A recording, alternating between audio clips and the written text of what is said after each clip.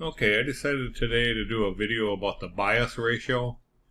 Um, this is a picture of a, um, a, a financial guy looking at the, telling someone he's got too high of a bias ratio. Um, bias ratio is uh, one of the ways, one of they said that they, they caught Bernie Madoff when he was doing his Ponzi scheme.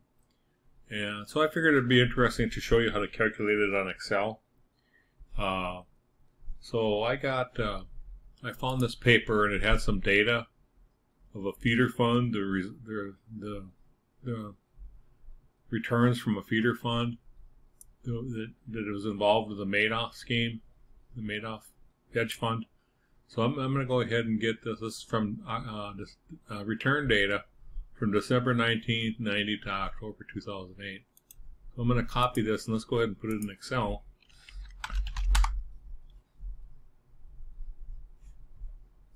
And uh, I'll just paste it in here. I'll paste it as text. And so we have the we have this data.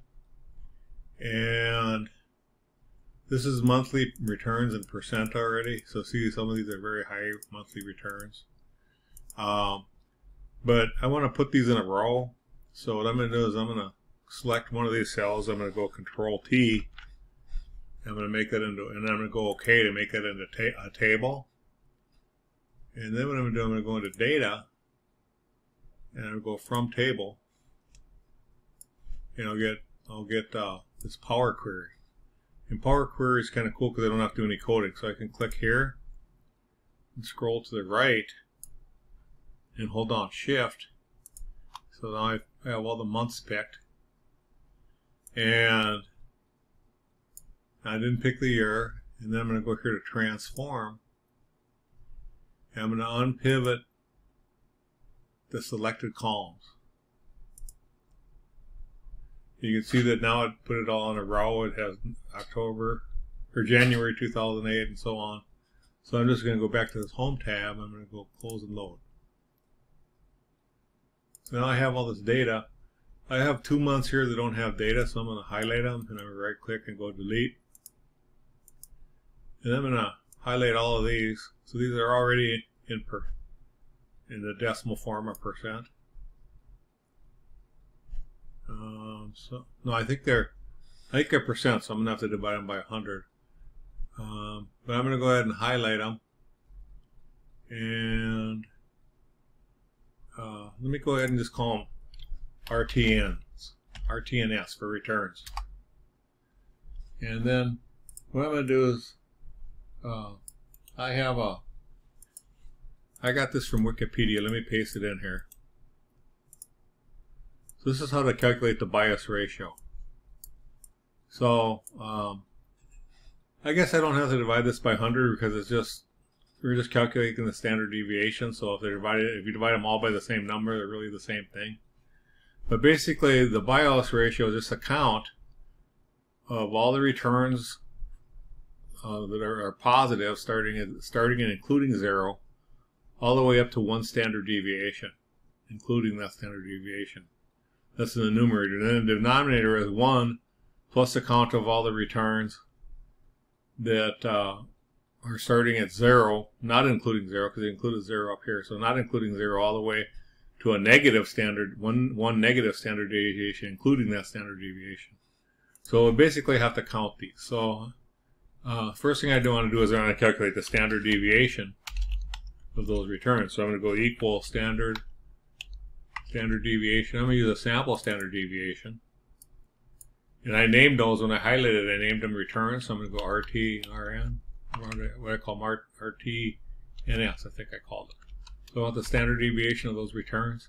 So that's the standard deviation of all those. And then, so what I want to do is I want to count. Uh, I want to count what's in the numerator. So I'll just count this. I'll say count numerator. So I want to count all the numerators in those return. I want to count all those returns that are above zero, between between zero and one standard deviation, and including those. Okay, so, I say, so I'm going to use a formula in Excel that's really nice. It's called equals count ifs. I want to count the returns. And I'm going to start at zero. I want everything that's greater or equal to zero. So I'm going to go uh, greater than or equal to zero. And I also want to count at the same time I want the returns that are less than or equal to less than or equal to and I want them to be less than or equal to whatever this is, whatever the standard deviation is. And it goes ahead and counts. So there's 88 returns in there that are between 0 and 1 standard deviation. So now we can count the numerator, or count to the denominator.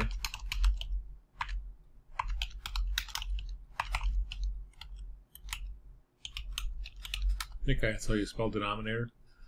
And for there, I want to go equals count ifs, the returns. And now I want less than zero. I remember I did greater than or equal to zero on the other one, so now it's just going to be less than zero. And then I want the returns that are uh, greater than or equal to a negative standard deviation. So I want the ones between a negative one standard deviation and zero, not including zero. And so I have 16 returns that are that are in that in that area. So then, so then also, also, now I could check to see if if I'm doing this correctly. Um, I could I could I could count the ones above this so I could go count above, and that'd be equal to count if, and then I would say the returns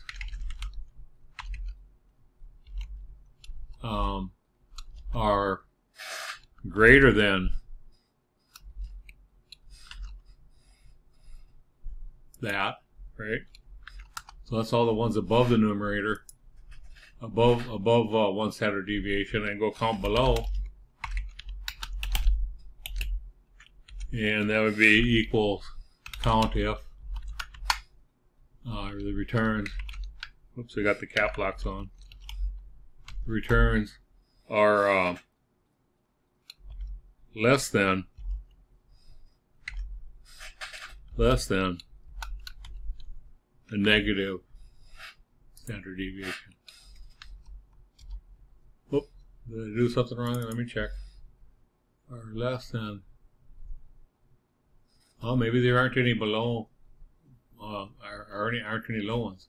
So if we sum all of those, let me put the formulas in here. That way you see the formulas I'm going.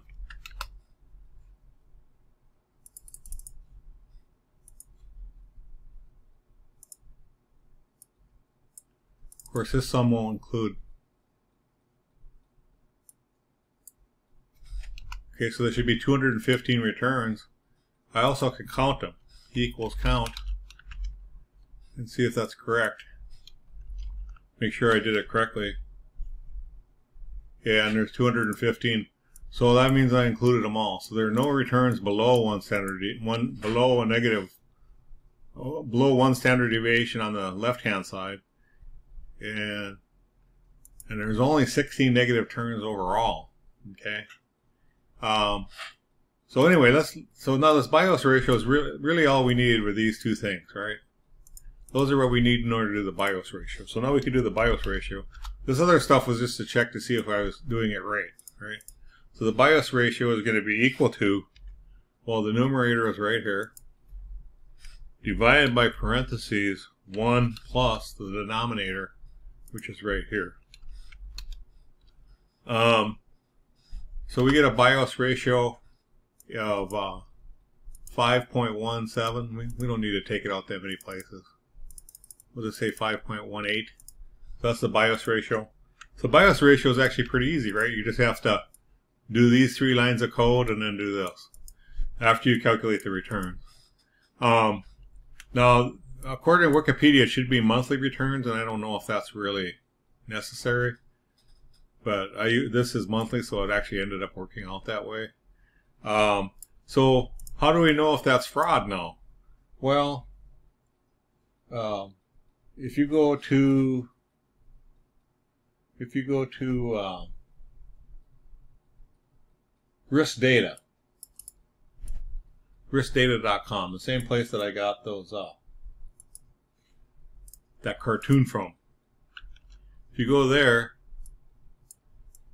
they say uh, depending on the hedge fund this is this is what the bias ratio should be so um, depending on the liquidity of the hedge fund, uh, the bias ratio should be in a certain range, right? So if I, an equity, like it says here, equities are like around one, something like one and two. What is this? Zero, one, two, three, four, five. So in equity, the bias ratio should be somewhere around one, something like that. So this would actually be a bias ratio for for hedge funds that has fairly low liquidity investments, right? The only ones here would be distressed, multi-strategy, fixed income. So those, and that was not the strategy that uh, that uh, Bernie Madoff used. He used uh, he, his hedge fund claimed that it was, uh, I think, some type of strike. Let me see if I have that. It was. Uh, said in this paper that they used a I used Fairfield Sentry. That was the returns from Fairfield Sentry as a feeder fund. And they used, uh, according to this paper, they used uh, split strike, split strike conversion strategy, um, which uh, was fairly liquid, right? So that's so anyway. That supposedly they used they calculated this bias ratio that I just showed you, and uh, yeah, typically it's going to be one for an equity, and uh, you can have higher biases, bias ratios, but that's usually going to if, if the hedge fund has highly illiquid investments in it. Um, so basically, what it's saying is most of the returns are positive returns, right? Because you know, in this case, it's very suspicious, right? You had 16 negative, you had none below below one standard deviation, right? You had 88 positive. That's a little bit suspicious, right? So the bias ratio is actually pretty easy to calculate. Uh, here's another graph that I, I looked at that I got from uh, riskdata.com. Uh, it basically shows the liquidity and where the ratio should be depending on the liquidity of the underlying securities in the fund. Um, so anyway, uh, that's all I really wanted to show you, how to calculate the bias ratio. I think that's kind of interesting. So you can do it on anything. If you do this like on the S&P 500, it would be one point something. You know, it wouldn't. It'd be you.